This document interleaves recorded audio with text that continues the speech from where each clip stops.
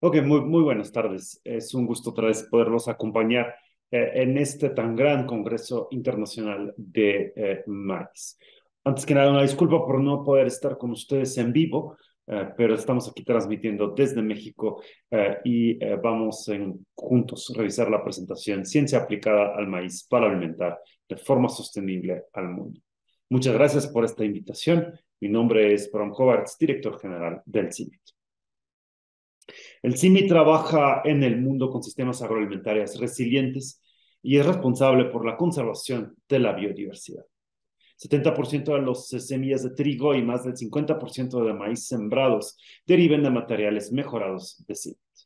Tenemos presencia en más de 49 países a nivel global y, eh, oficinas en más de 10, y lo pueden ver en esta mapita. Invertir en ciencia, tecnología e innovación es una buena inversión. Hemos calculado que cualquier eh, dólar, peso uh, invertido en uh, la investigación en trigo resulta en un retorno de 70, entre 73 y 103 pesos dólares de regreso así a la cadena productiva. Y en maíz entre 22 y 35 dólares de regreso. Si tiene impacto a nivel global y genera beneficios entre 3.500 a 4, uh, y 4.000 millones de dólares anuales estos beneficios o este recurso no regresa al CIMIT, pero se eh, regresa a los eh, productores, a los actores de la cadena de valor. 60% también de eh, la superficie culti eh, cultivada con trigo en los Estados Unidos utiliza variedades de trigo relacionadas con el CIMIT. En este mundo, aún con estas cifras, tenemos muchas necesidades que cubrir en, este diagrama en esta gráfica, pueden ver estos países que eh, requieren ayuda externa para contar con sus alimentos. Esto quiere decir que entre sus uh, importaciones y producción no es suficiente para alimentar a su población. El enfoque, por ello, de CIMET es uh, utilizar ciencia para poder mejorar la resiliencia de los sistemas y generar uh, dietas suficientes, nutritivos y resilientemente producidos.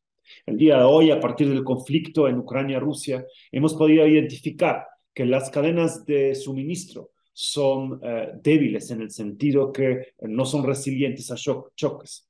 El choque de hoy fue una guerra, el choque de mañana puede ser el cambio climático, como hemos visto temperaturas altas en eh, la India, por ejemplo, o uh, lluvias y inundaciones en otras zonas del mundo. Por ello, CIMIT está convencido que necesitamos incluir en nuestras investigaciones un foco de eh, futuro, un foco, un foco en la cual tomamos en cuenta ya el cambio climático que va a estar presente eh, hacia futuro e influenciar la toma de decisión de productores y la necesidad de innovaciones y tecnologías que le funcionan a estos mismos. El CIMIT resguarda, conserva y caracteriza, caracteriza la biodiversidad de maíz y trigo a, través de la identificación genética de las semillas, 140 mil diferentes de trigo y eh, 28 mil diferentes de maíz.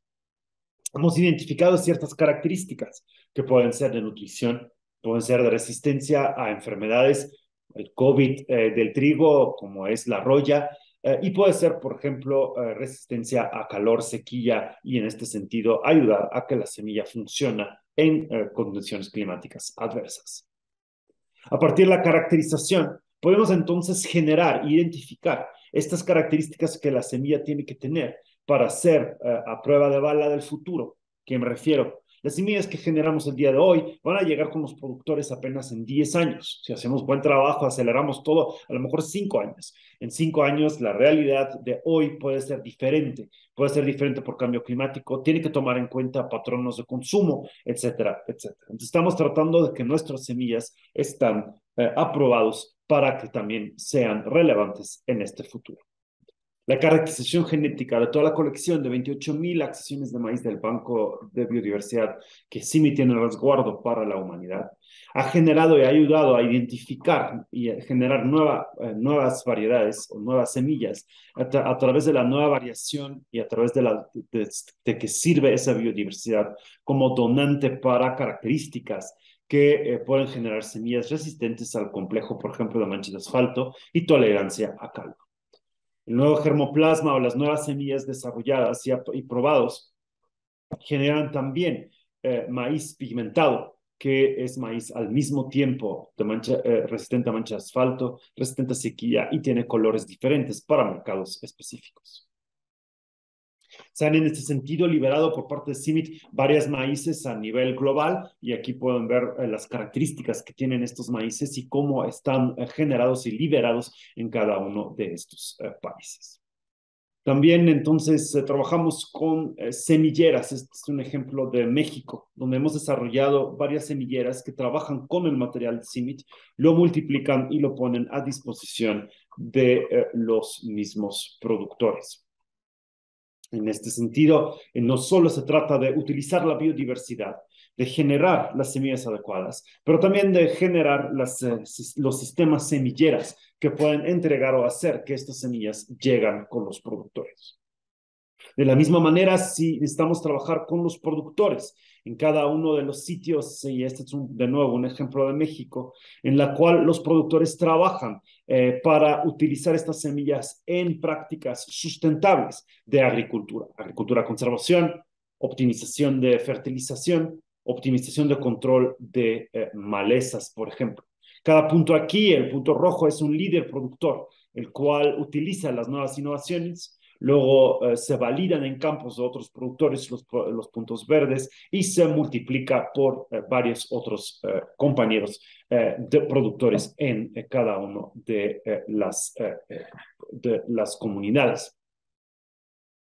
Finalmente, a través de asociaciones públicas privadas, se transforma el sistema agroalimentario porque la compra de semilla responsablemente producido y reconocido por las compañías como Kellogg's, Bimbo, Heineken, ellos compran esta semilla, estos granos producidos a partir de la semilla correcta, a partir de las prácticas óptimas eh, desarrolladas en conjunto con productores para reconocer en la producción por pequeños productores de grano sustentable. En ese sentido, CIMIT está trabajando a, lo largo de toda la cadena de producción, desde dietas saludables hasta lo que los consumidores requieren y todo en medio, la biodiversidad, mejoramiento dirigido, sistemas de semillas, la implementación de estas semillas en sistemas de producción, eh, lo cual genera eh, o requiere capacitación para que generemos una capacidad de carga de la tierra y el medio ambiente a través del eh, uso de maquinaria adecuada, eh, control, control agroecológico de plagas, la integración de eh, nutrición eh, integral. Después, el productor, por supuesto, consume parte de estos granos con su familia y el exceso va al mercado, un mercado que puede ser un mercado local o un mercado regional y nacional, el cual después entonces, por supuesto, los transformadores lo transforman en alimentos que van a los supermercados y están otra vez consumidos por los consumidores. Abajo de todo esto hay un sistema de datos que genera trazabilidad, el aprovechamiento de políticas habilitadores, la investigación colaborativa y el impacto a través de alianzas.